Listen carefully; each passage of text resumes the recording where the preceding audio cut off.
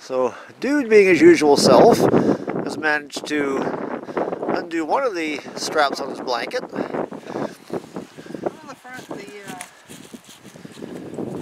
uh, top buckle will need a repair. Just a simple repair. No, you don't need to eat me. I know I'm wearing orange. but I don't care. It's warm. One of the necessary evils here in Canada, of course, is blankets. That's where you get your blankets that can rub on the horse. Rob will zoom in and show you what's happened with him before we got the slinky to go over his uh, chest and shoulders to prevent rubbing. He got a couple rub marks on either side of his shoulder. So we're just working on him not eating the camera. And the slinky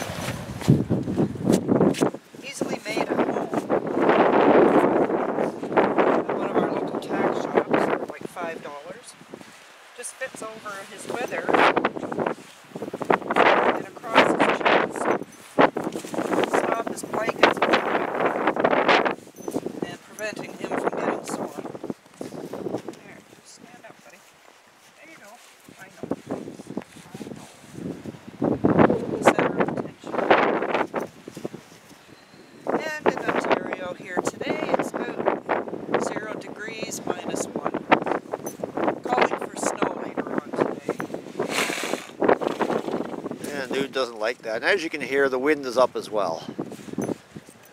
Makes it a little bit cooler. Ah, which is why we have all these blankets on these guys.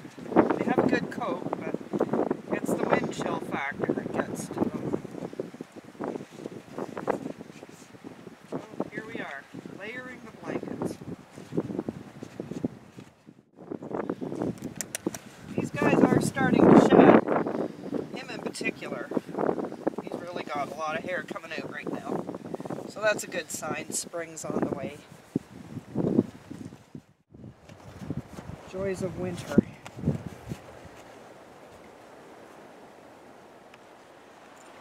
As you can see, dude's got lots of hay he can he can munch away on. He's quite happy out here.